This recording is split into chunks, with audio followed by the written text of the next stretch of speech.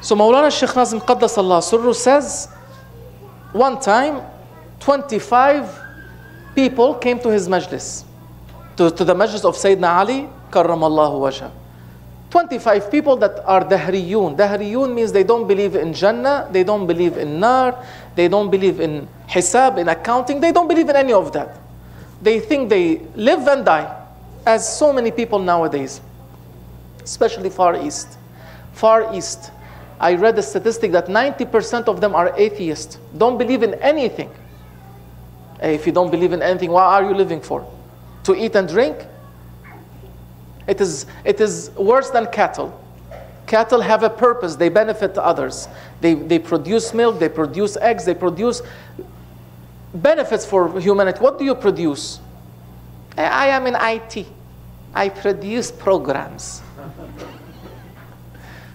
Good programs or bad programs. May Allah subhanahu wa ta'ala make them produce good programs that benefit others. Hey, 90%. So some of them came to Sayyidina Ali radiallahu an. And he said, Ya Ali, you are, uh, you have no mind. You and the one that follow you. Why is so? He said, he said, because you don't allow yourself to indulge in the pleasures of this world. Do you like to indulge in the pleasures of the chocolate, Sheikh? Yeah, why not? Indulge in the pleasure of a nice mattress? Yeah, why not, Sheikh? AC? Yeah, why not? So you don't allow yourself to indulge in the pleasures of the world. You indulge, you don't indulge in anything. You are missing. You are missing on the pleasures of this world. There is nothing beyond this world. So Sayyidina Ali said, I will ask you one question. One question. If you are able to answer me that question, then we will do what you as you do. Then you are the right ones, we are the wrong ones. We want to follow you لأنكم عقلاء because you are the smart ones. So he said, I will ask you one question. Will there come a day that we will be equal on that day? Will, will, they, will, will there come a day that we will be equal, all of us equal on that day? He said, when the sakaratul maut, when the uh, sakra, the, um, the drunkenness of death comes. When death comes, or death is approaching, when death comes, هل يبقى أثر من هذه من هذا السرور واللذة؟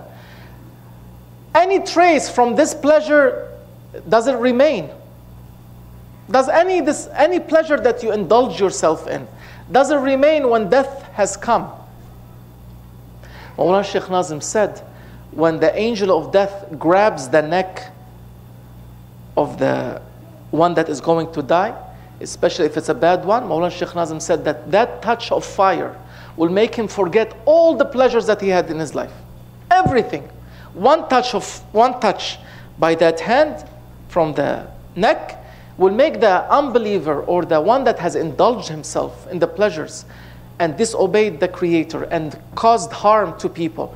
One touch, all the pleasures that he had will go away. Doesn't feel anything, doesn't remember anything. So he said, Sayyidina Ali said, Will there be any trace of this pleasure and joy? Any trace of that joy remains? Any trace of that pleasure remains? They said, No.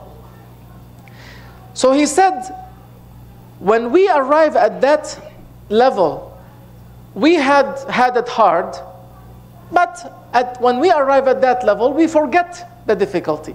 You had it easy, but when you arrive at that level of the approaching death, that also is forget, forgotten. So both of us are at the same level. So we start new. Now, if there is something on the other side, who will be the winner? He said, if we come at that level and there is no hisab, no accounting, no paradise, no fire, the, the end result is you did not win, we did not lose, because there's nothing. At that time, the difficulties, we forgot about the difficulties. The hardships you had last year or the year before, they're memories now, and sooner or later they fade away. And the pleasures as well. So when we came at that level, If there's nothing beyond it, you did not win, we did not lose. Finished. But if there's something behind it, نكون قد نجونا وربحنا لكن أنتم if there's something behind it we have we we are safe and Sayyidina Ali knocked the head of that man Mawlana Sheikh said he hit him with his fingers